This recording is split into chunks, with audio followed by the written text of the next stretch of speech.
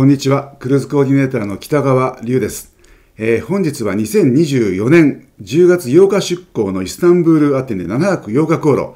えー、青と白の迷宮エーゲ海周遊航路ということで、えー、五つ星客船オーシャンやリベラに乗船する航路をご紹介したいと思います。えー、テキパキと進めてまいりますので何卒よろしくお願いいたします。まずは航路のご紹介ですけれども、え出港地はイスタンブールですね。えイスタンブールを出まして、えカバラ。ね、あまり皆さん聞いたことないと思うんですけど、とても渋い街です。えー、それからエフェソス、まあ、クシャダスというね、地名、まあ、港はクシャダスというふうに呼ばれていることが多いですけども、エフェソスはその中にある、その町にある世界遺産ですね。えー、それからロードス、アンタルヤ、ボドルム、ちょっとこの辺こんがらがってますけど、えー、サントリーに、まあ、これがハイライトになりますね。そしてアテネという、まあ、1週間の航路ですのでね、コンパクトにまとまっています。さあ、それでは早速航路図をご覧いただきたいと思いますけれども、ここで見ていただきたいのは、気候値のバランスと配列なんですね。えー、3つの色で色分けをしております。まあ、今回青のところがありませんけれども、えー、三つ星の見どころ満載の感動の港。それから緑色はですね、静かで落ち着ける港。これがそれぞれ、まあ、6つの気候値の中で赤が4つもあります。これは多いですね。まあ、33であったり、まあ、24であったりということが多いんですけど、4つ入ってますよ。えー、では見てみましょう。イスタンブールを出港しまして、ダーダネス海峡、これを越えまして、えー、最初が緑のカバラ。これね、とっても渋い街なんですね。まあ、街に水道橋が通ってるね。えー、まあ、渋いという意味は行かれたらわかると思いますけどね。えー、続きまして、エフェソス。これあの、世界遺産のね、エフェソスがここに入っちゃってますけど、港としましてはクシャダスという名前の、まあ、昔から地中海クルーズには、エーゲ海クルーズには特にね、欠かせない港になっています。そして最初がロードス。またギリシャに戻りますね。ここにありますクレタ島に次いで2番目に大きな島。もうトルコの方がはるかに近いというね、えー、島です。これもですね、あのいわゆるエーゲ海の島とはまたちょっと違う趣があって、えー、この全体のバランスを引き締める役を果たしていると思いますね。そしてアンタリア。ここも面白いんですよね。あの町のすぐ脇に滝が流れているというと。えー、まあ、この3つがボンボンボンとね、赤が続きます。そして、えー、ボドルム。ここでちょっとのんびりしていただいて、最後、サントニーニで皆さんにとどめを刺すという、そういう航路になっています。今回の航路はですね、えー、前後別の日本人スタッフ乗船航路が挟みまして、3航路連続での日本人スタッフ乗船航路となっております。こちらが今ご紹介している航路なんですけども、その前にもう一つ、それからその後にもう一つ、10泊航路がね、挟んでるんですけど、アテネ、イスタンブール、イスタンブール、アテネ、アテネ、ベニスと、合計で27泊の航路になります。えー、ではですね、その前後の航路も簡単にご紹介したいと思います。まず最初の航路ですけども、アテネ・イスタンブールね、こちらがイスタンブール・アテネですが、その逆になるわけなんですが、えー、アテネを出まして、サントリーニと、これね、いきなり、あの、まあ、この航路のハイライトに近いものがいきなり入ってます。ただね、この航路はどこ行くかと言いますと、ご覧ください。アレキサンドリア、カイロ、ポートサイド、エルサレム、ハイファということで、まあ、ほとんど中東、エジプトとかね、あのイスラエルへ行く航路で、この辺りに行く航路はね、とても少ないです。えー、でなぜこの航路を選んだかと言いますと去年ですねこののシーズンの、えー、航路が発表されました時に、えー、皆様にどの航路に乗りたいですか、まあ、日本人スタッフ乗船航路を決めるにあたりまして皆さんの意見を参考にいたしますというアンケートを取りましたところダントツで一番だったのがこの航路だったんです。まあ、皆さんでもうあちらこちら行かれている方が多いということだと思うんですけど、ちょっと変わったところに行きたいよということで、この航路がもうダントツ一番だったので、えー、まずこれを選びまして、えー、それからその次、またその次ということで、3コース連続で、えー、日本人スタッフ乗船に設定したというのが、まあ、今回のいきさつです。ちなみにもしこの前半の2航路を乗船されたとしますと、この2つがダブってます。まあ、エフェソスとサントリーニね、まあ、どちらも強烈な港ですので、えー、まあ私はね、この短い期間に2回行くのも全然ありだなとは思っております。では見て。では3つ目の航路ですけれども、アテネを出港しまして、ミコノス、イズミール、イスタンブールとね、あの、これはダブってません。同じ映画界ですけどね。でイスタンブールにぐーっと入りまして、えー、ここは州立公開挟みまして、バーリ、イタリアのバーリ。それからコトル、モンテネグロ、えー、クロアチアのドブロブニクと、いうで、この3つが意外といいんですよ。これ全部赤ですね。えー、世界遺産なんかもあって、とても見どころが前半と後半がガラッと変わります。この航路2つね、えー、10月8日、今回ご紹介している航路と、この次の航路、2つまとめて乗ってしまうじゃないかという場合にはですね、こんな特典があります。えー、連続乗船割引というものなんですけどね、この2航路。えー、前半はないんですね。この後半の2航路に関してはあります。最新の空き状況と乗船料金は、えー、この QR コード、これから読んでいただければ詳しい情報がわかります。スマートフォンのカメラでこの QR コードの写真を撮りますと、この乗船航路、連続乗船の航路の、え料金と空き状況が一発で出るようになっています。えー、気候地につきましてね、情報が知りたいという方は、えー、気候地情報 .com、このサイトをご用意してますので、こちらを検索してみてください。また、個々の気候地につきましては、えー、地中海クルーズ完全ガイド。これ、あの、私がね、4、5年かけまして、えー、写真を撮り、ためまして、えー、作りました。まあ、力作なんですけれども、えー、こちらに地図の入った散策ルートが入ってますので、えー、これを参考にしてください。もちろん、オーシャニアクルーズ以外で地中海に行かれる方にとりましても、このガイドブックはおすすめです。テンダーボート下船の港をちょっとチェックしておきましょうか。えー、今回サントリーニだけになりますね。では、客船データに参りますけれども、オーシャニアリビエラ5つ星客船です。そのトン数が6万6000トン、中型サイズ。えー、全長238メートル、決して大きくありません。えー、乗客数が1250人、乗員数が800人。大事なのはこの比率ですね。1.56対1、1人のスタッフが1.56人をお世話しますということで、これはね、2を基準にそれよりも低ければ低いほどサービスレベルの、迅速さ、これを期待することができます。1.56というのはかなりいい数字ですよ。建造年2011年ですね。えー、船籍がマーシャル諸島になります。では、ここで大切な停泊時間の確認もしておきたいと思いますけれども、標準的な寄港時間、これはだいたい朝8時から10時に入港しまして、えー、夕刻5時から7時ぐらいの出港、その港に7時間から11時間ぐらい停泊すると、これは一般的な寄港時間になりますが、今回はどうでしょうか。イスタンブールの出港が午後6時、ちょっとね、これ後ろの12時と無視してください。前だけ見てください。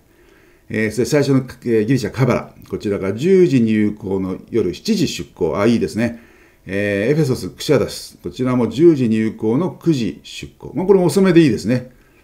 9時ですとね、ゆったり、まあ、食事はあの一度始まってしまいますとね、やっぱり1時間半から2時間ぐらいかかりますので、街で食事を気分転換にしようという方はね、食事なしで、えー、街は本当に港の目の前ですから、もうパッと行ってパッと帰ってこられるよね、そういうとこですのでね、夜のクシャダスの街は結構楽しいと思いますよ。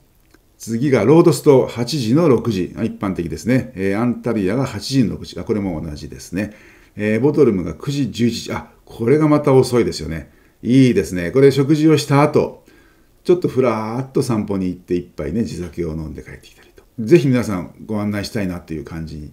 が今すでにしています。はい。えー、最後はサントリーと朝8時の夜7時。あ、いいですね。えー、この時期10月ですから日もそれほど長くないので、この時間でしたら、最終のテンダーボードに乗るのが30分前の6時半ですので、もう十分に日が沈むところをですね、切り立ったね、高い崖のカフェか何かからあの海に沈む夕日を見ることができると思います。後で映像でご紹介したいと思います。はい。で、アテネの下船が8時という1週間のコンパクトな航路です。では、乗船料金のご案内ですけれども、えー、これあの、オーシャニアクルーズの本社の料金の画面、空き状況の画面です。えちょっと解説を加えておきましたけれども、料金がね、この2本立てになってるんですよ。そのうちの左は定価です、いわゆる。皆さんがお支払いになるときはこちらじゃないです。早割り、この右側の方ですね。えー、この料金が適用されまして、パッと見ますと1000ドル違います。早割りの方が1000ドル安くなってます。で、こちらの料金はお,、えー、お二人で一部屋をシェアする場合のお一人様。ですから、お二人で参加されるときは、こちらにあります料金かける2となります。じゃあ、お一人様の場合どうなるかと言いますとね、えー、基本的にはオーシャニアクルーズは、お一人様の場合は2倍払っていただくということになります。一人部屋割引の、えー、キャンペーンを出している航路も別にありますので、それはそれでチェックしていただけるといくつか出てくると思いますけど、基本的には倍になります。はい、そして空き状況がこちらにずらーっと書いてありますけれども、 availability、えー、 available と書いてあったらまだ部屋が選べますよという意味ですね。で、一番下、 waitlist となってますね。これはもういっぱいになってますと。このね、G というね、内側客室の G という、まあ一番お安い1899ドル。この部屋はですね、なんと4室しかないんですよ。たった4室ですからね、まあ、ないことが結構多いです。あの船というものは大体このお安いところから上に向かってそれから高くて広い部屋から下へ向かっていっぱいになってくるとこのねアベイラブルという表示がウェイトリスト下からウェイトリスト上からもウェイトリストで最後に残るのはこの大体 A の123あたりというのが、まあ、一般的な、まあ、売れ方になります。ご参考までに。そしてアメリカ客船ですので、えー、料金は基本的に変動制です。えーまあ、3ヶ月に1回一応見直されるので、1月から3月、それから4月1日から4、5、6月末までというね、ことで、まあ、上がったり下がったりします。えー、ですので、ね、その時の料金、また空き状況は、えー、こちらの QR コード、これをですね、スマートフォンで写真を撮っていただきますと、この画面にまさにドンと行き当たりますので、えー、ご確認いただければと思います。特典のご紹介をしておきたいと思いますが、えー、選べるオーライフチョイス特典というものがついております。こちらは基本的にオーシャニアクルーズのすべての航路についています。まあ、今回は7泊航路ですので、えー、船内で使えるお小遣い、これがお二人様で400ドル。二つ目がですね、寄港地のツアーを選ばれる場合には、200ドル以内のツアーをお二人がそれぞれ2本ずつ選べます。そして3つ目の飲み放題ですけども、え、これはレストランでのワイン、ビール、スパークリングワインなどがえ、グラスで提供されます。で、インターネットの使い放題もついております。そこに今回はですね、オーシャニアクルーズ20周年記念キャンペーンということで、えー、もう一つ大きな特典がついてます。何かと申しますと、オンボードクレジットのね、追加なんですけども、えー、7泊航路ですので、さらに400ドル。ですから先ほどの選べるオーライフチョイス特典で、400ドルのオンボードクレジット、もし選ばれたとしますとね、さらにもう400ドルということで、合計800ドルえー、オンボードクレジットがつくということになります。800ドルですから、まあ、13万円分ぐらいにね、今でしたら相当するんじゃないかと、えー、思いますけれどもね、大きな、えー、プレゼント、ぜひご利用ください。そしてもう一つ、20周年記念のキャンペーンとしまして、ご予約金半額というのがついてまして、通常お一人様750ドルですので、お二人で1500ドルが予約の際に必要なんですけども、それが半額でいいということになってます。えー、ですから、お二人で750ドル、というご予約金で予約ができます。まあ今しばらく円安傾向がね続いておりますけれども、えー、現段階ではなるべく少なく払って、そして残金の時には、まあ円高になってたらね、その分お得になりますので、ぜひこのキャンペーンを利用して、え、今のうちにご予約をなさってください。え、このキャンペーンは2月の末日のご予約まで有効です。取り消し料も確認しておきましょう。え、こちらはですね、180日前からお一人様に250ドルずつかかってまいります。ということは、それまではですね、え、キャンセルをされる場合には、す、べ、てそのお申し込み金でもそうですけど、え、残金を支払いになった際にもお返しいたしますというルールになっています。それから出発日が近づくにつれまして、えー、キャンセル料の率が、両率が上がってまいります。まあ、海外旅行の障害保険に、えー、特約としてね、追加できますクルーズ保険というのに入られておけば、この期間に入りましてもね、あの何か、まあ、病気とか怪我とか、えー、された場合には、えー、保証ができるというのがありますので、最近結構あの多くの方がそれを利用するようになってますね。では、ここからはですね、寄港地のご紹介映像を見ていただきたいと思いますけれども、えー、これは過去に私があの乗船中にですね、無料の飛行地散策サービスをしております際に、えー、皆さんと一緒にこう歩きながら撮影したものですので、ちょっとブレたり、あの素人っぽいところがありますけれども、まあ、十分に雰囲気が伝わるのではないかと思います。皆さんが普通に観光していれば出会える景色ばかりだという、そんな視点でぜひご覧になってください。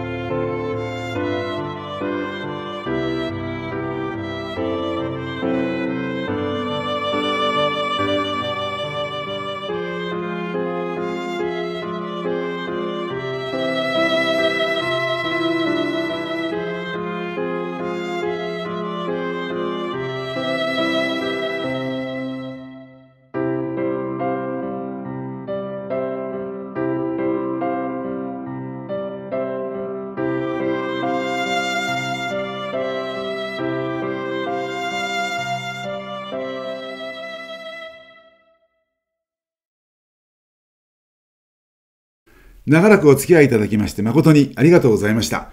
当コールのご予約、お問い合わせはこちらまでお願いいたします。詳細は動画の下の概要欄にも記載しておきますので、えーぜひそちらもご覧ください。